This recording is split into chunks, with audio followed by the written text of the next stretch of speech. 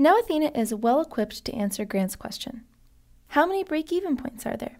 Remember, a break-even point is just a point on the graph where profit, or P of x, equals zero. Please fill in the number of those spots right here. Then please tell me what the value of x is at each of these break-even points. Separate your answers by commas.